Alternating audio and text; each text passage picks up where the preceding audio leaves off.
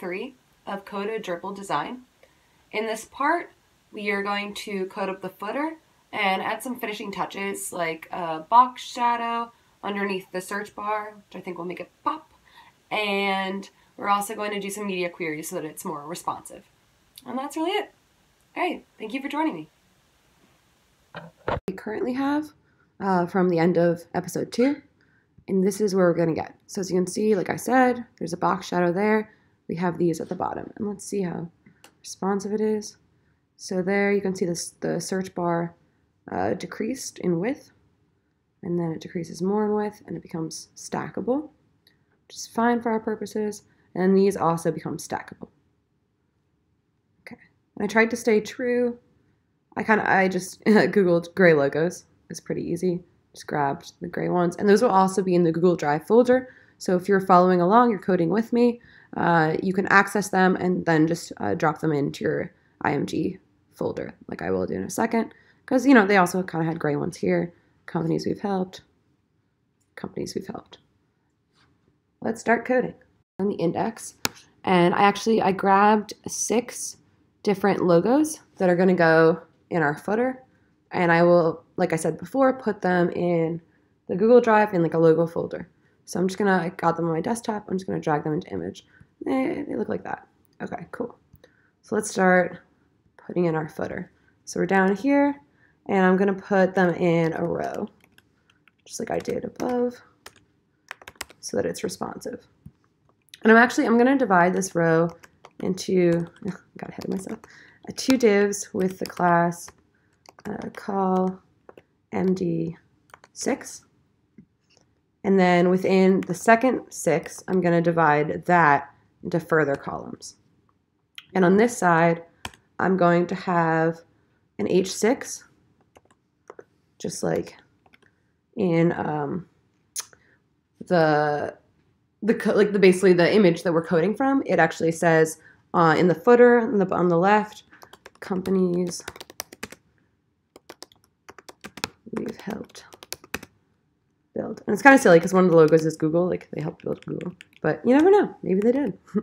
That'd be a claim to fame. Okay.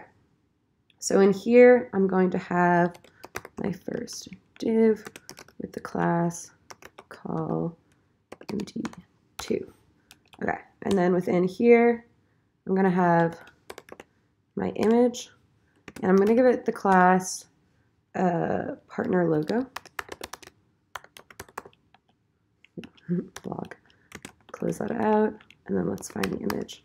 So source dot slash image. I'm just gonna grab the first one.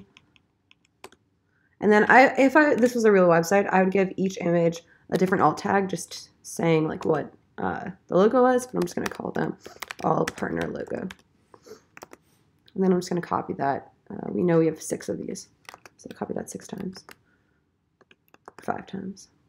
So now we have three, four, five, six, and then let's relink them.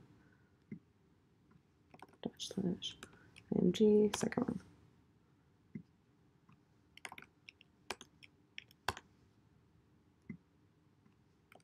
I just grabbed, I looked up um, gray logos to get these.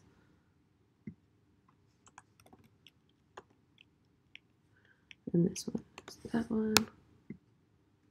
Yeah, I didn't repeat myself. All right, I'm gonna pull up the um, document we have so far, and then we're also gonna put the box shadow on our search in a moment. Refresh. And okay, the, the logos are huge. Okay, so we'll adjust that in a moment. First thing I wanna grab is I actually, I got this, it's cssmatic.com slash box shadow, and I put a box shadow around it. So I'm actually just gonna copy this box shadow code and paste it in to our, um, basically where the search bar is happening. So behind the white and behind the purple. Close the image and let's get the styles. So I just copied the box shadow uh, information that I got from that website and I tinkered with it to get the right box shadow. And then I'll paste that in there. Tab. There we go. Tab over. And then I also want it behind pro background. I don't know. I, I like everything to be aligned. It's kind of silly. Okay wants to click. There you go. Tap that, tap that. Okay, let's save that, see what we have. I like that. Cool. All right, so now let's fix this footer up a bit. So I'm actually going to do what I did last time, open them side by side. Great. Just for one second. So the first thing is you could see those logos were huge. So I'm going to go and select them. I call them partner logo. And I'm going to give them a width of 100%. Great. And then let's see. So basically, I also want everything to have a top margin. So in each of my columns, sixes down here, I'm also going to give a footer margin class. I could also apply this to the footer itself, I feel.